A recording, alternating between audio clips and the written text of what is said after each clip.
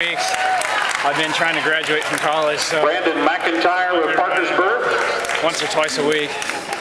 But uh, I, wasn't. I was a little nervous coming out to this one just because of the shape that I was in. Kevin uh, Busick of Mineral Wells. I just didn't know what to expect. Glenn McMillan of Mineral and Wells. give what I had and see what happened.